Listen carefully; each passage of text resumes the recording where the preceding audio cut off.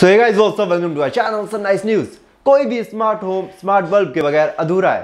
Smart bulb से आप घर को अलग अलग कलर्स के साथ रोशन कर सकते हैं। लाइट की ब्राइटनेस को कम ज़्यादा कर सकते हैं। रोशनी से जुड़े कई दूसरे काम कर पाएँगे। तो स्मार्ट बल्ब खरीदने से पहले किन बातों का ध्यान रखना चाहिए? तो आज की इस वीडियो में हम उसी के बारे में डिटेल में बात करेंगे। तो बिना किसी देरी के वीडियो करते हैं शुरू। सबसे पहले तो आप सही रंग चुने, क्योंकि बल्ब कई तरह की लाइट्स में आते हैं। कुछ वार्म लाइट होती है, कुछ कूल लाइट होती है। और कुछ आरजीबी लाइट्स भी होती हैं। तो आपको कैसी लाइट चाहिए, वो आपको अपने कमरे के हिसाब से और अपनी पसंद के हिसाब से डिसाइड करना है। साथ ही वो बिजली कम खर्च करे, इस बात का भी ध्यान रखना होगा। स्मार्ट बल्ब खरीदने से पहले ध्यान रखें कि वो वॉइस असिस्टेंट सपोर्ट करता है या नहीं और किस स्मार्ट वॉइस असिस्टेंट का सपोर्ट उस स्मार्ट बल्ब में दिया हुआ है। स्मार्ट वॉइस असिस्टेंट के सपोर्ट के कारण आप अपने स्मार्ट बल्ब को अपनी आवाज़ से ही कंट्रोल कर पाएँगे।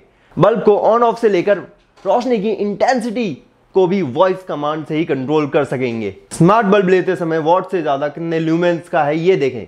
लूमेन से स्मार्ट एलईडी बल्ब की ब्राइटनेस मापी जाती है, जो कि इसके बॉक्स पर ही लिखी होती है। जितने ज़्यादा लूमेंस का उसका बल्ब होगा, उतनी तेज उसकी रोशनी होगी। हमेशा भरोसेमंद कंपनी का ही स्मार्ट बल्ब लें। इंटरनेट से कनेक्टेड कोई भी डिवाइस हैक किया जा सकता है और कई साइबर सिक्योरिटी एक्सपर्ट्स के मुताबिक बल्ब आपकी जासूसी कर सकता है। इसलिए जब भी ले, किसी अच्छी कंपनी का ही ले। तो आज के लिए इस वीडियो में बस नहीं ही। अगर इस वीडियो में कुछ भी देखकर आपको खुशी या मज़ा आया तो इस वीडियो को लाइक कर दें और चैनल पर कहीं से भी नए आ गए तो चैनल को सब्सक्राइब करना ना भूलें। धन्यवाद।